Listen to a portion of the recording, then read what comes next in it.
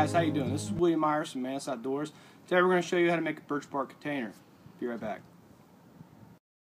Alright, so when I get birch bark off a tree, I try to make it as thick as possible when I'm removing it from the tree. And then what I can do is one sheet of bark that I take off, I can select two or three layers from that, and then I could peel that away, thus making that bark go just that much further. And I could make a container out of this. It's uh, pretty flimsy though, but the sheet right here is probably four or five thick. And that's really what I'm looking for. You know, it's still going to fold without snapping in half. See, that's the fold and it's still watertight. Um, and, and it's going to be a little bit thicker, more hardier. so just wanted to show you guys that, how to process that out real quick. And, uh, you know, just because you uh, take one section of the tree off doesn't mean that you have to make tanner out of that. Plus, it would probably be about that thick anyway. It's pretty difficult to work with. So, we'll go ahead and show you guys what I do. And um, these are just pieces of fencing. And what I, I use these for uh, stretching small um, small hides and things like that. And like bigger things like possums and things, I'll actually put two or three of these together and you know I don't have to cut and make them you know I just go out to my local hardware store and they're relatively cheap actually. So that's what these are. And what I'm using them for is the cut on and a straight edge relatively straight edge. These don't need to be you know absolutely perfect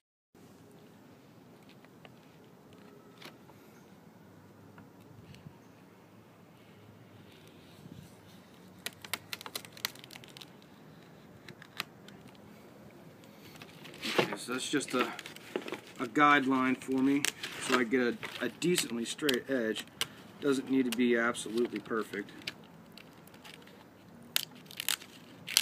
Just needs to get the job done. And I really would like to try to separate this without creating more separations, but looks like I've already created two of them. No big deal.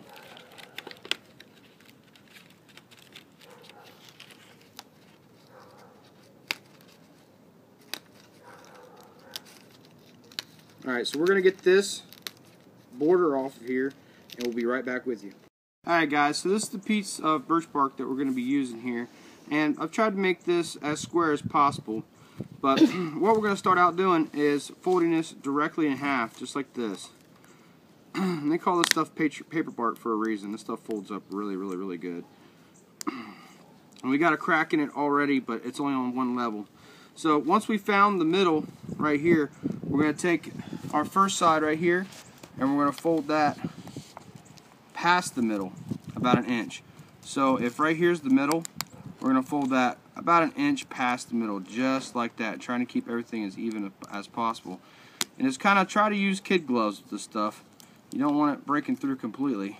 And we got a couple knot holes in here, but that's nothing we can't take care of with uh, some pine resin. So we'll uh, probably show that as well, if not into a part two. So we've got that fold in. So now what we're going to do is we're going to fold this back until it meets the middle. So right here is that middle crease. And we're going to fold this back just like this. It's a little bit past the middle, but I got a knot that I'm trying to contend with here. I don't want to snap it. Just like that. And then we can turn it around. You can make sure that folds pretty tight. And then we're going to do the same exact thing on this side as well. But with this one, it's a little bit easier because we can just come right to this edge right here. And this is what's going to make everything nice and even for us. You hear those snapping and popping and cracking. Um, hopefully that's not all the layers of the birch bark. There are several layers in here. One or two snapping and popping isn't going to bother me very much. Then fold that back just like that. No problem, no problem. And that's what we're left with right there. That's the start of our box. So we're going to come and put it vertical to us. And they go to each of the four corners. We're going to fold them in just like this. And this is where you really, really got to be careful. You don't want to snap all these layers that are in here. But you want a good tight line on that.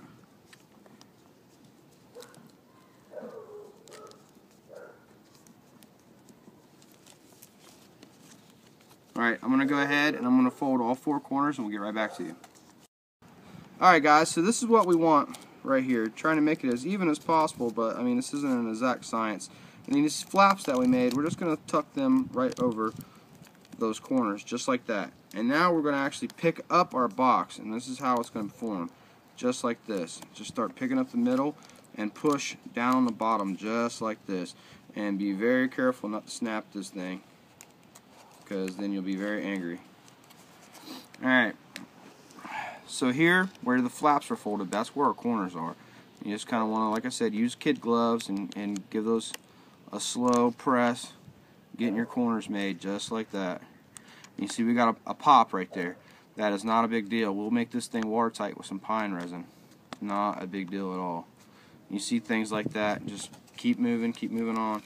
We'll fix that in the end. Alright, let's go to our second corner here.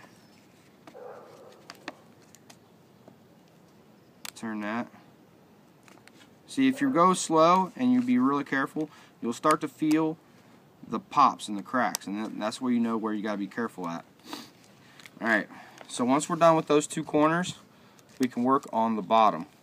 And we can just slowly work in the bottom and get a crease going where we want our bottom to be on this side.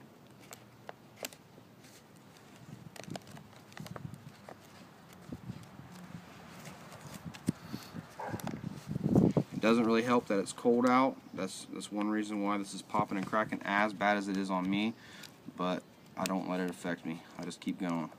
There's plenty of pine resin out there, guys.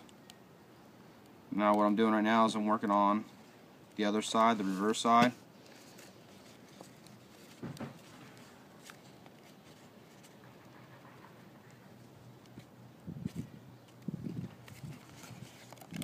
Now the bottom and we'll be able to see what we got and what we need to fix here in about two seconds. So as you can see, this is the start of our birch bark container right now. But as you can see, these two sides are drawing out. What I'm going to do is pull these sides up and then put a stiff piece of bark right underneath that lip. That's what that lip is for. And I'll show you that in about one second. Alright, so all we really have to do is just kind of eyeball this. And we're going to have to take just a little bit off. Like I said, this isn't an exact science. So if we kind of cut a straight enough line as we can on this really stiff piece of bark right here, it'll give us what we need.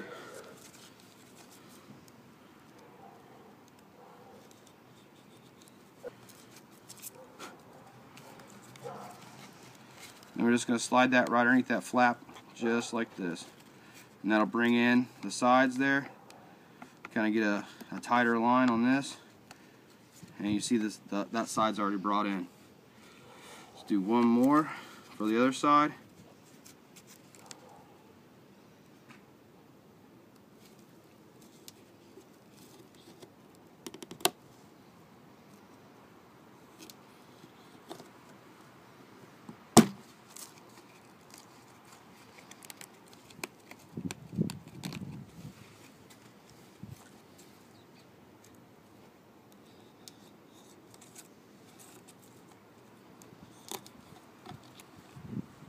Okay, so we cut our second piece here of that really thick bark. This stuff's really a lot thinner compared to this. This is just to, to stabilize that corner. We're just going to throw it right underneath of that lip right there.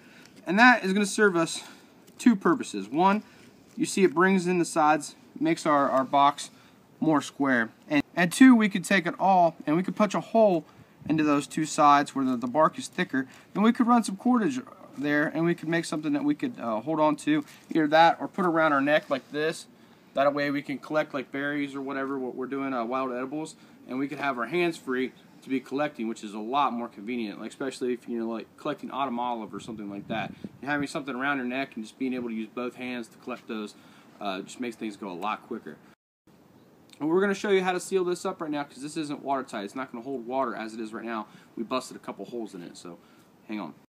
Alright, so what I got here is a can of Sterno, and uh, the really cool thing about this is this is what goes around my uh, 40 ounce Klean Kanteen uh, stainless steel water bottle. and it's from the Pathfinder school. It's a stovetop, and you know it's really convenient, especially in places where you're not allowed to have fire. I go to a couple places where they would appreciate it if you didn't build a fire everywhere in the woods, and you know you really got to respect the landowners in that. Uh, so this way I still can boil water and things like that. But this can of Sterno, and this uh, this grill top can just go in the fire, and that gets my water bottle or my cup up above the coals, and it really speeds up the process of uh, boiling water or cooking or whatever. But it, it serves dual purposes as well because I can attach it to the top of this sterno right here, and uh, like that. It's kind of hard to see. Just kind of make sure that it's going. I thought it was for a second. It was. There we go. And the wind blew it out. Wind's blowing it out. yeah. Oh no, it's still going. Oh, oh. Yep. It's hard to see that alcohol flame. You really gotta be careful. And I got some pine resin here. And we're gonna kind of dump this out because we don't need all this stuff right here. We're just gonna take one nice little hunk here, throw it in there, and then throw it on top of that stove right there. Let that melt. And uh, as soon as that does, we'll get right back to you. Okay, as you can see inside the container here, we got several holes, plus we have a couple cracks that we're going to be sealing up. Let's go ahead and pay attention to this one right here first.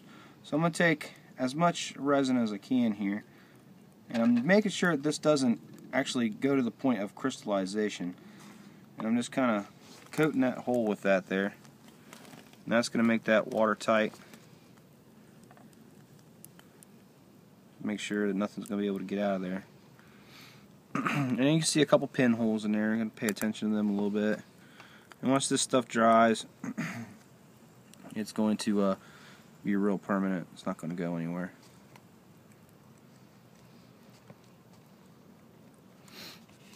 And we'll uh, address those corners there. That's going to take a lot of pitch in there. I'm sorry, resin. This isn't pitch yet.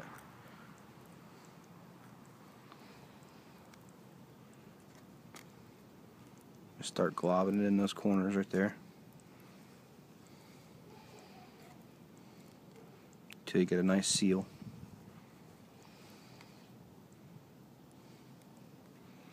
There you go. then we got one more to take care of. Then we can start closing this up on the sides as well.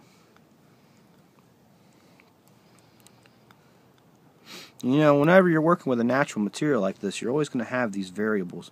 You know, something's going to snap, something's going to bust on you, and you're going to have to be prepared to take care of those problems. And pine resin is pretty much a fix-all in my book. Get those hairs out of there. Alright, so, got another hole? Right there. Oh, okay. Where? I don't see it. Little tiny one in the corner. a little tiny one in the corner, okay. Right there? No. Towards you a little bit. Oh, well, I, I, see another one right here anyway, so go ahead and take care of that while we're at it. Like the line right above where you just put that. oh, I see what you're talking about. Thanks. I didn't see it. Mm -hmm. Did not catch that one. Alright, so that boy is waterproof right now. We're going to let this cool down a little bit. Right now, let's go ahead and start sealing up these corners here where we didn't, we had a couple busts. Just making it, now, I mean, this is just aesthetic. I'm kind of just making it look better for my reasons. Doesn't actually, I don't have to do this.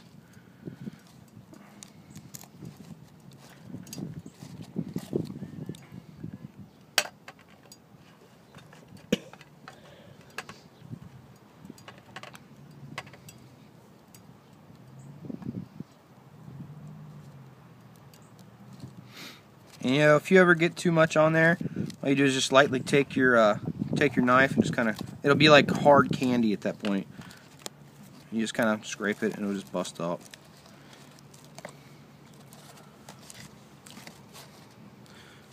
Okay guys, there we go. Let's go ahead and put that, attach that down as much as we can there.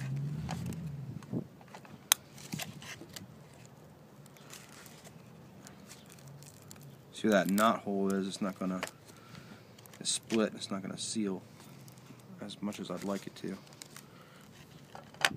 Let's use some pine resin to close all this up.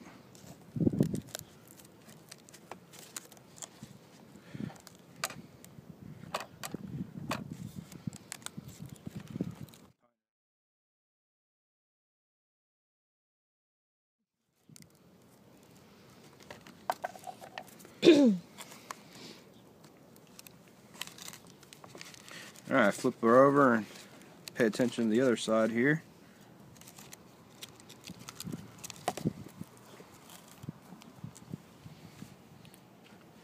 Altoids tin's hot.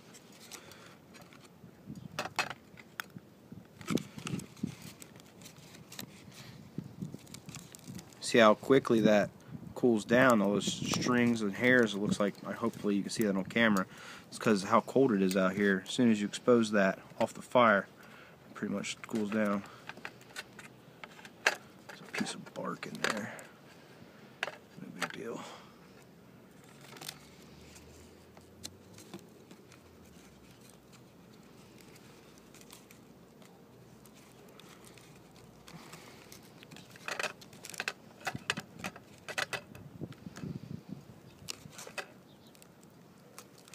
We go.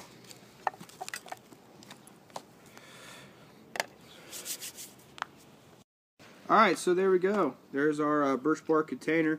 Really easy project, no fuss, no muss.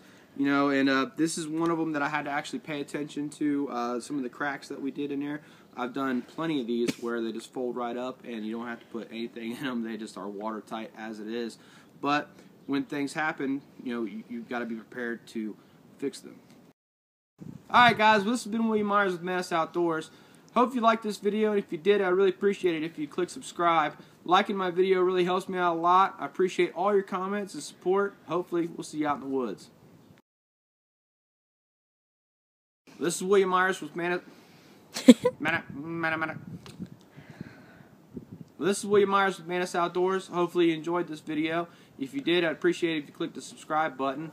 The like video down below really helps me out a lot. The like video. like like of the video. Alright, I gotta do this Yeah. quickly. Uh huh.